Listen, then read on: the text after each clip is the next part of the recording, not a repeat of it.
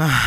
el día de hoy me desperté con ganas de jugar titulazos de mi infancia, como los Jack and Daxter, la saga de Uncharted e incluso los God of War. Pero no sé si ustedes sean como yo, pero por alguna razón no lo sentía real, ya que jugar en una consola de última generación no me llena del todo. Lo mismo pasa con una PC gamer y los emuladores, aunque tengan muchísima calidad, créanme que no es lo mismo. Y es que sentir la sensación de que estás jugando con tu consola de tu infancia, tu fiel compañera en tus inicios como gamer verdaderamente no tiene precio. Sin embargo, ahorita mismo no tengo mucho dinero para sustentar todos esos gustos. Y además de que los juegos para PlayStation 5 son carísimos. Así que el día de hoy trataré de conseguir una consola en el tianguis totalmente gratis. Sé que suena de locos, pero es posible. Si les interesa y les da curiosidad como lo haré, quédense conmigo que enseguida comenzamos.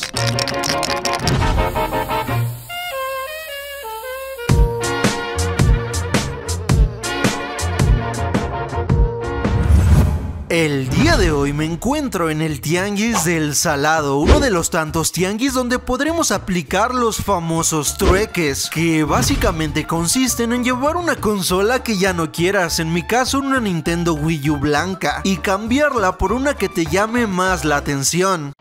Ah, caray. Eso sí me interesa. En ocasiones podrías pedir algo de dinero extra si es que tu consola supera el valor de la que quieres o alguna cosilla extra y en ocasiones si tu consola es inferior podrías dar diferencia a cambio de la consola. ¿El para qué cosa de quién? Esto de los trueques es muy interesante. La verdad, las cosas como son.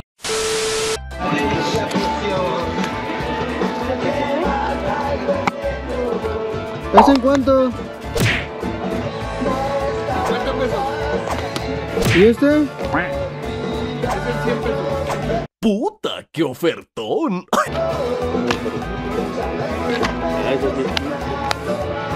Es 15.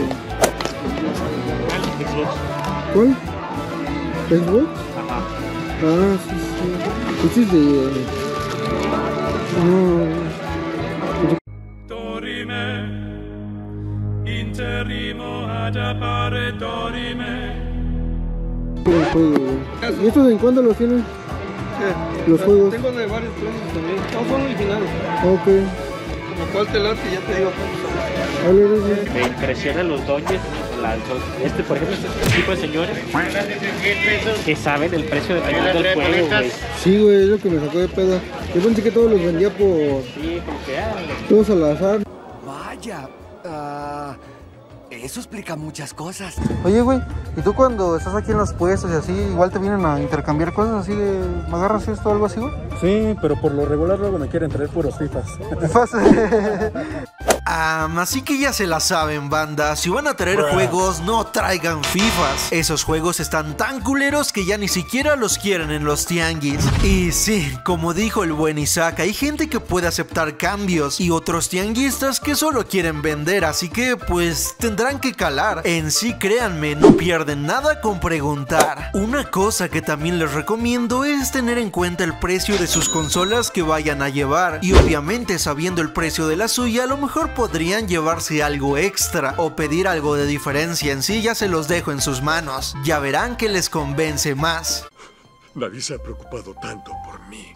En este caso intercambiamos una Wii U blanca sin juegos y sin nada por una PlayStation 3 de 160 GB y también agregándole un code Verónica de Dreamcast. Es algo raro verlo, es la versión japonesa y está en muy buenas condiciones, así que sí decidí llevármelo. Sé que va a haber mucha gente en los comentarios diciendo que a lo mejor valía más lo que yo llevé o que valía más lo de él o yo que sé, alguien puede salir ganando un poco. Sin embargo, el buen Isaac nos ha hecho muchos paros, nos ha ayudado con otras cosas. La neta, no me molesta que en esta ocasión haya salido ganón con una Nintendo Wii U. Además de que yo, créanme, anhelo jugar con una PlayStation 3. Así que sí, vamos para casa. Y bueno, bros, ya estamos aquí en la casa después de hacer esas compras en el tianguis. Para la gente que no conozca a la persona con la cual hicimos el intercambio, salen muchos videos en general, es el buen Isaac, por si no lo conocían. Si le quieren comprar comprar algo o si le quieren intercambiar o yo que sé, el buen Isaac se pone en la calle de la Horrera en el Tianguis del Salado por si lo quieren ir a visitar. El día de hoy hicimos intercambio de una Nintendo Wii U que ya tengo desde hace tiempo. Estará apareciendo aquí la portada donde conseguí esa Nintendo Wii U. Fue en una casa de empeño que me salió muy pero que muy económica, con un costo total de unos 1200 pesos aproximadamente. La neta fue un ofertón. Y esa Nintendo Wii U se la cambié por estas dos cosas, que es una PlayStation 3 Fat y un Resident Evil para Dreamcast. Vato, eso la neta es muy raro. Joder, qué gran historia, tío. Me he emocionado y todo, macho. Qué final épico, eh. buenísimo, buenísimo. El juego es la versión japonesa del Resident Evil para Dreamcast. Vean. Biohazard, la estética se podría decir que es algo pasable. Está en muy buen estado para ser un título japonés que llegó aquí a México. Eh, este tipo de cosas me sorprende mucho porque me sorprende cómo viajan, ¿no? De tan lejos y luego un coleccionista las vende, terminan en los tianguis. ¿Cómo es que pasa todo eso? Sinceramente eso se me hace muy pero que muy interesante. los misterios de la vida. En cuanto a los manuales, los folletos, viene totalmente completo. Sé que parece muy impresionante, pero el título no es tan caro.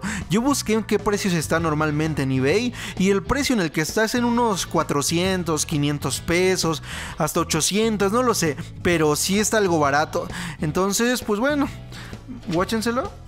Sí trae absolutamente todo y su estética es muy buena. Ahí la pueden observar a contraluz, es totalmente perfecta, sinceramente es una chulada y está de 10. Esto posiblemente no sea lo más interesante, pero es un extra que vino en el intercambio. Sinceramente es una chulada. Así que pues vamos con el mero mole, la PlayStation 3. Banda, quiero hacer una dinámica con todos ustedes aquí en los comentarios. Así como lo están viendo ahorita, comenten sin hacer trampa ni nada. Quiero que me digan con qué estética ven esta PlayStation 3. ¿La ven de 10? ¿Cómo la ven? Quiero que sean completamente sinceros. Aquí los espero. Vayan a comentar. No tengo prisa. Comenten. Comenten aquí abajito qué estética le ven a esta PlayStation 3. Sean muy pero que muy sinceros. Vamos a ver qué tan buen ojo tienen. Estoy esperando, anciano. ¿Ya? ¿Ya comentaron? Pues bueno, vamos a empezar. Pues observen la triste realidad. Vean cuántos rayones tienen. Sinceramente esto demuestra muchísimo el ángulo, lo que favorece una imagen, una foto. Nunca se dejen guiar por la primera imagen que ustedes vean. Pidan más fotos para ver si tiene rayones o qué. Esa consola desde ese ángulo se veía en una estética de 10. Yo la veía perfecta, sinceramente no se ve nada como se veía hace rato. Y también tiene detalles acá, eh, observen, también trae sus detalles acá. Y es lo que ustedes estaban viendo. Pero sí, Sí, sí está muy cabrón. Vamos a tratar de limpiarlo un poquito, a ver si le quitamos algo de acá. Posiblemente van a ver una cámara rápida para que no se vea así de feo en todas las tomas.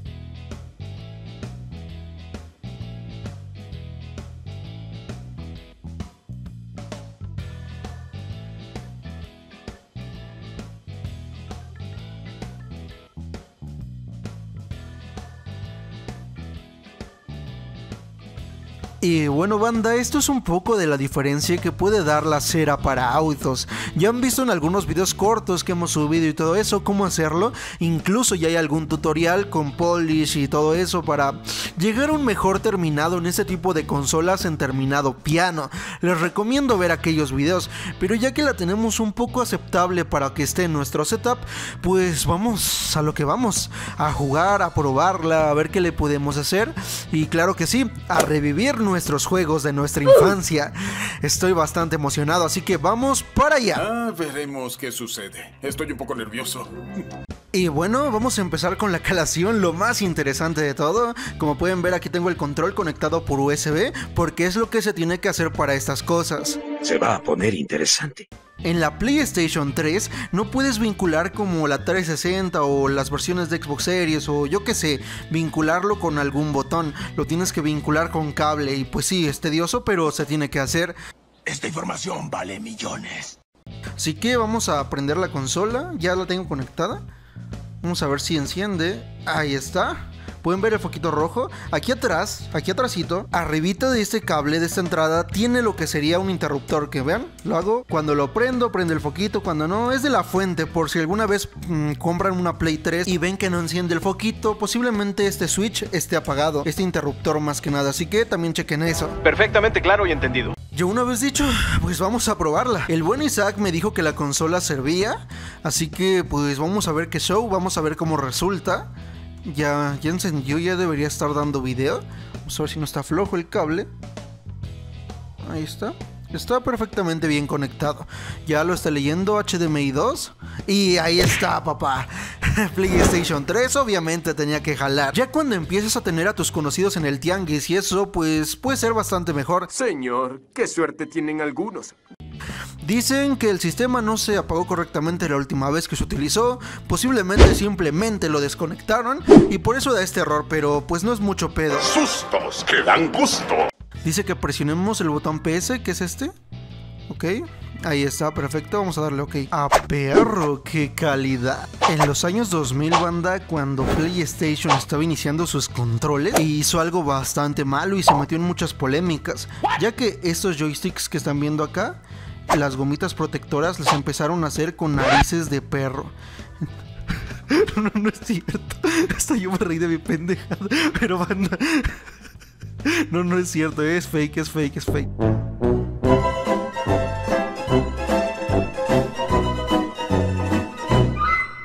Ya tenemos aquí conectada la consola, como pueden observar, jalando. Ahí está, control vinculado, todo bien, todo correcto. Y yo que me alegro.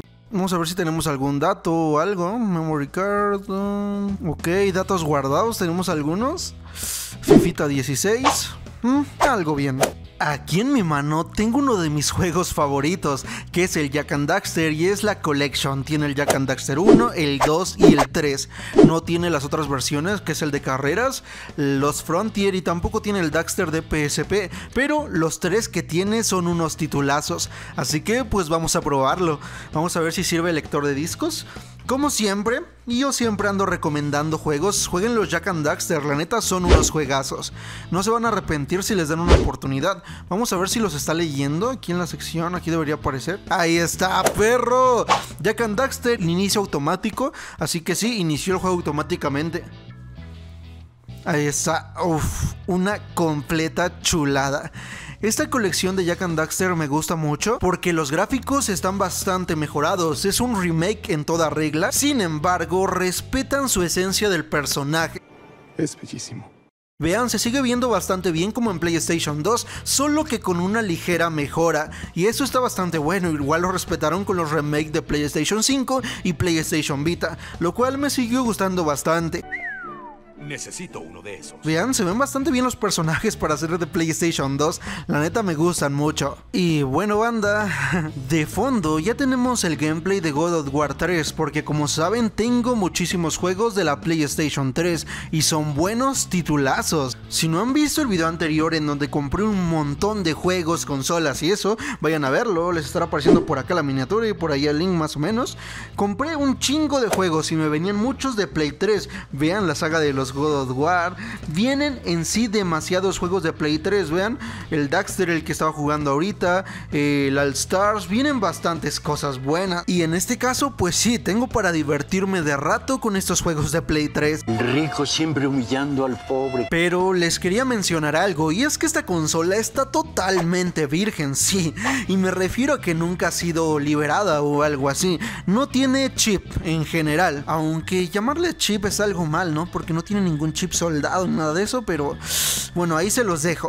Bien pensado, Woody. Pero la liberación actualmente de la PlayStation 3 es extremadamente fácil, algo que con unos tutoriales y demás lo alcances a hacer en unos que 20-30 minutos y ya tendrás tu consola 100% liberada para descargarle juegos totalmente gratis. Actualmente esto se puede hacer y créanme, está bastante chingón. En pocas palabras, si ustedes no tienen su PlayStation 3 liberada y ya la tienen, se están perdiendo de un mundo muy grande, ya que tiene tiendas, tiene emuladores, tiene aplicaciones, tiene un montonal para sacarle el 100% a esta consola. Y obviamente es una máquina emuladora y obviamente también es una bestia emuladora que nos servirá para bastantes más consolas. En pocas palabras, quería dejar esto claro, ya que si ustedes van a comprar una PlayStation 3 en el Tianguis con el riesgo de que no sirva el lector, créanme, es lo de menos. Esta consola es muy potente, es una bestialidad de consola que con una simple liberación,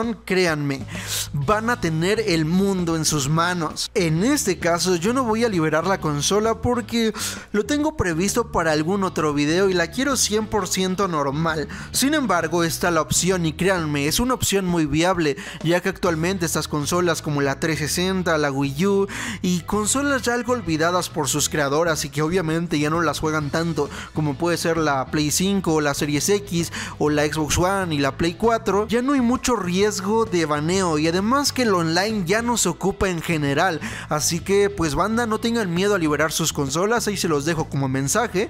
Y pues ahora sí, a disfrutar bastantes horas jugando los juegos de PlayStation 3 que la neta son una total chulada. Sin más que decir, yo soy Expector, el dios de esta basura y hago este tipo de videos si quieren aprender a revivir sus consolas antiguas, a darles otro punto de vista para aprender a ocuparlas mejor, que las desempolven más que nada o comprarlas en los tianguis, ya saben que aquí estoy, yo soy Expector, pinche gallote, y nos vemos en un próximo video.